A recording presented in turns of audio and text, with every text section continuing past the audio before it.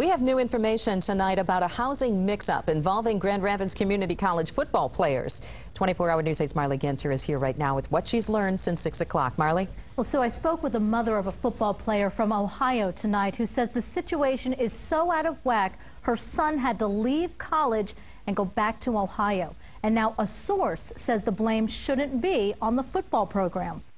An old chair, mattresses, and boxes of clothes. Apparently, GRCC football players used to own this stuff, now told to get out because the rent wasn't paid.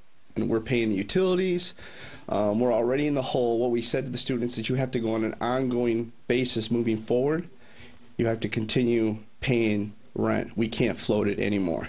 But a source close to this big mix-up now tells Target 8 landlord Josh Beckett is just dragging the college through the mud. The source says there was never an official contract between the football program and Beckett Properties. The source says coaches merely helped players find housing and then it was the players' responsibility to pay rent. And that Beckett knew his clients were the individual players, not the college.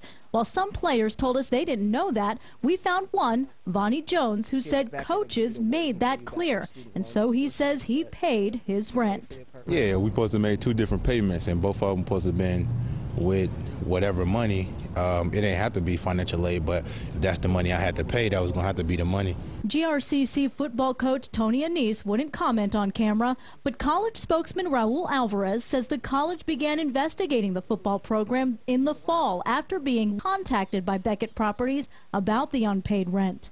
We're currently conducting an internal investigation into concerns about the football program and can't really comment on those specifics until that uh, investigative process is complete. We paid because me and my roommate we paid. We paid in full. They still trying to move us, so I don't know. I'm just I'm just out here trying to make it, man. I also spoke with landlord Beckett tonight. He says he's not trying to damage the football program. He just wants his rent money. Meantime, one mom told me her son dumped all of his college loan money into GRCC only to leave school because he didn't have a place to live. Brian.